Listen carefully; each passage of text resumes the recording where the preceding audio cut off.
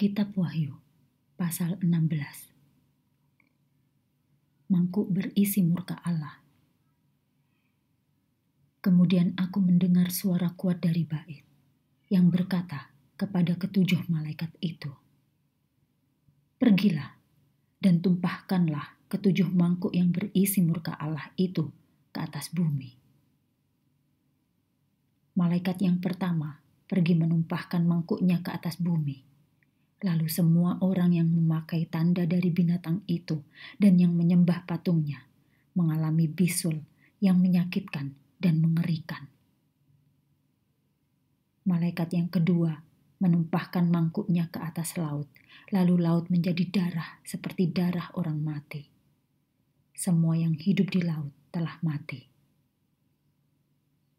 Malaikat yang ketiga menumpahkan mangkuknya ke atas sungai-sungai dan sumber-sumber air, dan semuanya menjadi darah. Lalu aku mendengar malaikat yang berkuasa atas air itu mengatakan, "Engkaulah yang ada dan yang sudah ada. Engkaulah yang kudus. Engkau adil di dalam penghakiman yang telah engkau lakukan." Mereka telah menumpahkan darah umatmu dan nabi-nabimu. Sekarang engkau memberi darah kepada mereka untuk diminum. Mereka patut menerimanya. Dan aku mendengar mesbah itu mengatakan, Ya Tuhan Allah, yang maha kuasa, penghakimanmu benar dan adil. Malaikat yang keempat menumpahkan mangkuknya ke atas matahari dan matahari diizinkan menghanguskan manusia dengan api. Sehingga manusia hangus oleh panas api yang sangat ngeri. Mereka itu menghujat nama Allah. Allah lah yang berkuasa atas malapetaka itu. Tetapi manusia tidak mau bertobat untuk memuliakan Allah.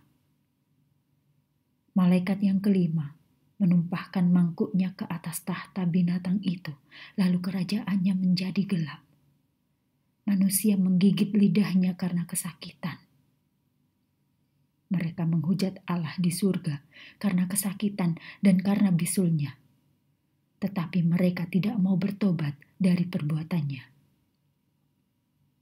Malaikat yang keenam menumpahkan mangkuknya ke atas sungai Efrat yang besar itu. Air di sungai itu menjadi kering untuk mempersiapkan jalan bagi raja-raja yang datang dari timur Kemudian aku melihat tiga roh jahat seperti katak. Ketiga roh jahat itu keluar dari mulut ular besar, mulut binatang, dan dari mulut nabi palsu. Roh jahat itu ialah roh setan. Mereka dapat mengadakan mukjizat. Mereka pergi menemui raja-raja di seluruh dunia.